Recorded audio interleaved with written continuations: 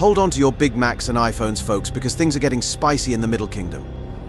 China, once a gold mine for American companies like Apple and McDonald's, seems to be losing its appetite for all things USA. The landscape is shifting, and it's not just a minor tremor. Remember when everyone thought China would be guzzling Coca-Cola and worshipping at the altar of Apple for decades to come?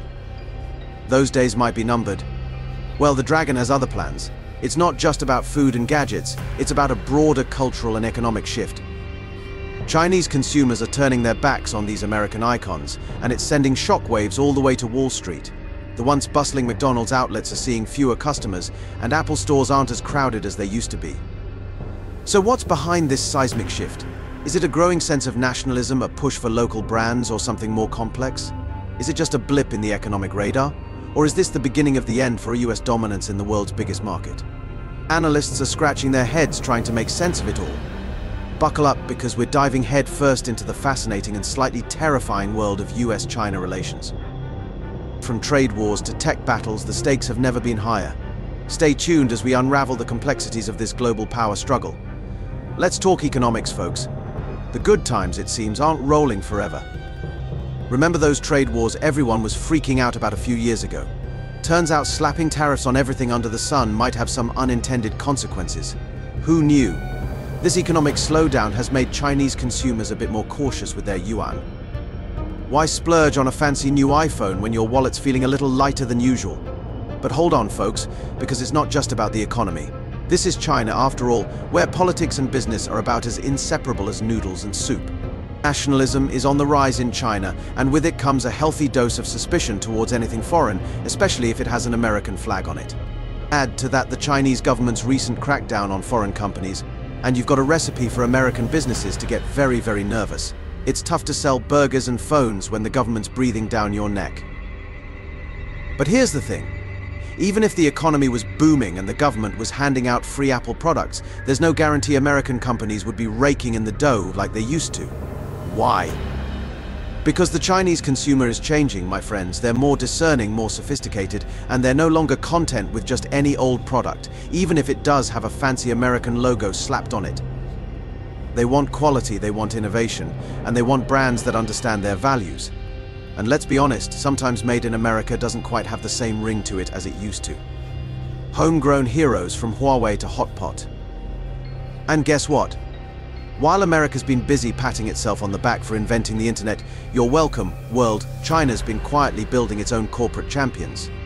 Huawei, Xiaomi, Alibaba, Tencent. These aren't just random words, folks. These are powerhouses, homegrown heroes that are taking on American giants and winning. They offer cutting-edge technology, sleek design, and they actually understand the Chinese market. And it's not just tech. From fashion to food, Chinese brands are popping up everywhere, offering consumers local alternatives that are often cheaper. And dare we say it better than their American counterparts. Apple and McDonald's feel the bite. So what happens when you combine rising nationalism, changing consumer tastes, and a new breed of fierce local competitors? You get a complex and challenging environment for global giants. The economic landscape is shifting, and companies that once dominated the market are now facing unprecedented challenges you get a big fat reality check for American businesses like Apple and McDonald's. These companies, which have long enjoyed success and popularity, are now grappling with the harsh realities of a changing market. The days of easy dominance are over, and they must adapt or risk being left behind. Apple, once the undisputed king of cool in China, has seen its sales plummet. The brand that once symbolized innovation and status is now struggling to maintain its foothold. The allure of the iPhone is fading as consumers seek alternatives that offer similar features at a more affordable price. Turns out those shiny new iPhones aren't quite as irresistible when Huawei is offering similar features for a fraction of the price. Are you enjoying the video? If yes, please subscribe, like and share our videos for more updated and exciting content. Let's continue. Huawei, a local competitor, has capitalized on this shift, providing high-quality smartphones that meet the needs of the market without the hefty price tag. Consumers are making more pragmatic choices, and Apple is feeling the impact. And McDonald's, the ubiquitous symbol of American fast food, is struggling to keep up with local chains offering tastier and often healthier options. The fast food giant is finding it difficult to compete with the diverse and flavorful offerings of local cuisine. The Chinese market is evolving, and McDonald's must innovate to stay relevant. Turns out those Big Macs and fries don't quite cut it when you can get a delicious bowl of Lanzhou noodles down the street. The preference for local flavors and healthier options is reshaping the fast food landscape. McDonald's must rethink its strategy to cater to the changing tastes and preferences of Chinese consumers. The challenge is clear adapt or face the consequences. Can US businesses survive the dragon's fire?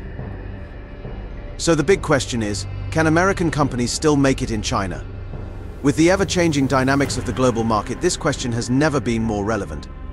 Is there any hope for the future? Or are we witnessing the beginning of the end for us business dominance?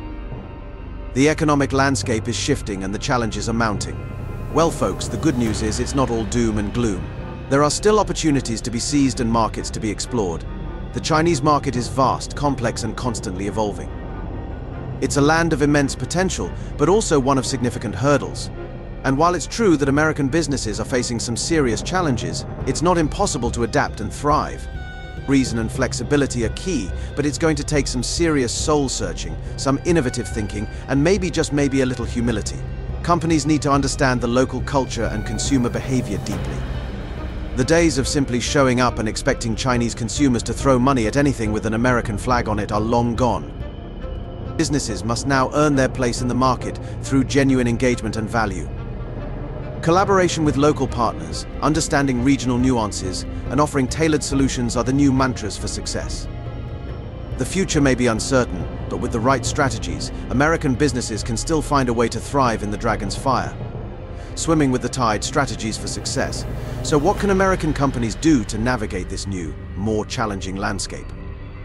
How can they win back the hearts and wallets of Chinese consumers? Here are a few ideas. First, listen up. Understand the market, the culture, and what Chinese consumers actually want. Hint, it's not always about being the biggest or the loudest. Second, think local, act local. Partner with Chinese companies, invest in local talent, and tailor your products and services to the specific needs of the Chinese market. Third, innovate or die. The Chinese market is incredibly competitive, so you need to bring your A game, offer something unique, something special, something that Chinese consumers can't get anywhere else adapt or die the future of US business in China. The bottom line is this. China is no longer a guaranteed win for American businesses. It's a complex, dynamic market that requires a nuanced and adaptable approach. Those companies that are willing to evolve, to listen, to learn, and to truly understand the Chinese consumer will be the ones that succeed. But those that cling to outdated strategies that underestimate the competition, or that fail to adapt to the changing landscape risk being left behind. The future of US business in China depends on it. Thanks for watching, and don't forget to share your thoughts on this topic in the comments below. If you want to learn more about the challenges facing US companies in China, be sure to check out our video on the rise of Huawei and the future of the tech industry. Subscribe to Revo now and join our vibrant community of forward thinkers, change makers, and revolutionaries.